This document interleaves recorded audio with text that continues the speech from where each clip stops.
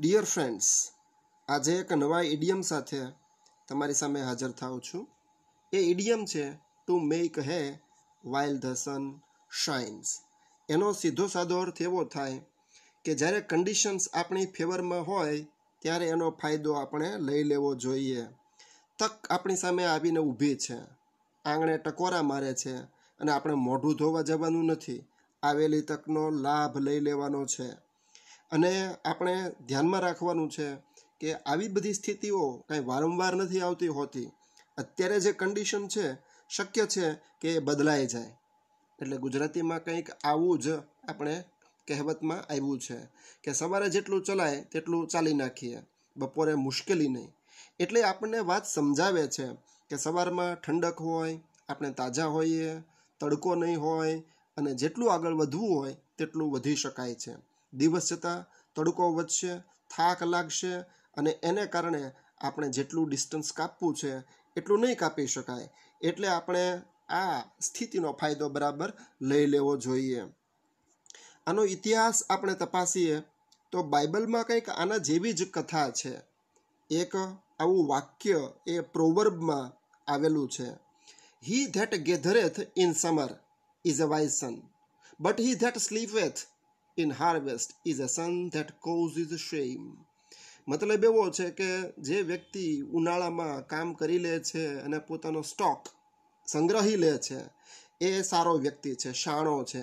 પણ જ્યારે લણણીનો સમય હોય ટ્રેઝર કલેક્ટ કરવાનો સમય છે, ભેગું કરવાનો સમય છે, ત્યારે જે વ્યક્તિ પોતાનો સમય બગાડે છે, ઊંઘી રહે છે, એ તો ખરેખર નિંદાને પાત્ર છે. એટલે અલબત્ત આમાં કોઈ ડિરેક્ટલી આપણો જે ફ્રેઝ છે to make hay while the sun shines એનો સીધો ઉલ્લેખ નથી. પણ તમે જોઈ શકશો કે ઓલમોસ્ટ સિમિલર આઈડિયા આપણને અહીંયા જોવા મળે છે. એટલે આમ બાઇબલમાંથી કદાચ આડકતરી રીતે આ પ્રયોગ આપણી સામે આવ્યો છે. પણ ઇંગ્લિશ ભાષામાં છેક સોળમી સદીમાં આનો પ્રથમ ઉલ્લેખ આપણને જોવા મળે છે. વર્ષ છે ફિફ્ટીન ફોર્ટી સિક્સ પંદરસો ને છેતાલીસ.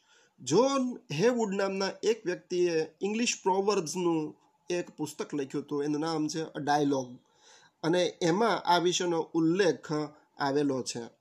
અલબત્ત કાંઈ જોન હેવુડે આ ઉલ્લેખ કર્યો અને આવ્યું એવું તો નથી જ. જાહેર જીવનમાં, આપણા સામાજિક જીવનમાં તો આ વાત પહેલાં હતી જ. બધા જ ખેડૂતો એ ઇંગ્લેન્ડના કે ઠંડા પ્રદેશના આ શાણ પણ જાણતા હતા કે સમય છે એ સતત વહેતો રહે છે. આજે જે ઉનાળાનો સરસ મજાનો તડકો સામે દેખાય છે, એ ઘડીકમાં બદલાઈ જઈ શકે. એટલે કે ઠંડા પ્રદેશોનો માહોલ છે, એ ઝડપથી બદલાતો રહેતો હોય છે. ઘડીમાં વરસાદ અને ઘડીકમાં તડકો. અને ઘડીમાં એટલે કોઈ વખતે તો એવું પણ બને કે કલાકમાં વરસાદ આવી જાય અને પછી આખો દિવસ છે તાપ રહે. ઘણી વખત આખો દિવસ તાપ રહે અને નેક્સ્ટ ડે એ તોફાન ને વરસાદ આવે. એટલે ઇંગ્લેન્ડ અને યુરોપના દેશોમાં તાપમાન છે, વાતાવરણ છે, એ કંઈ જ નક્કી નથી રહેતું. એટલે જ્યારે સૂરજ છે, ગરમી છે, દિવસ સરસ મજાનો છે, અને એ થોડોક સમય ટકવાનો હોય છે, એવી ખેડૂતોને તો ખબર જ હતી. એટલે એ લોકો જાણતા હતા કે બરાબર એનો ઉપયોગ કરી લેવો જોઈએ. અને આટલી મહેનત કરી લીધા પછી સારા સમયનો. પછી તો સમય મળવાનો જ છે કે તમે આનંદ કરો, મોજ કરો, એટલે જ આપણે યાદ રાખવાનું છે કે જ્યારે સ્થિતિ સારી છે, ત્યારે બરાબર એનો ફાયદો ઉઠાવી લેવો. તો તમે પણ આ વીડિયો થકી તમારી ફેવરમાં થોડોક જ્ઞાનને લઈ લેજો. Thank you very much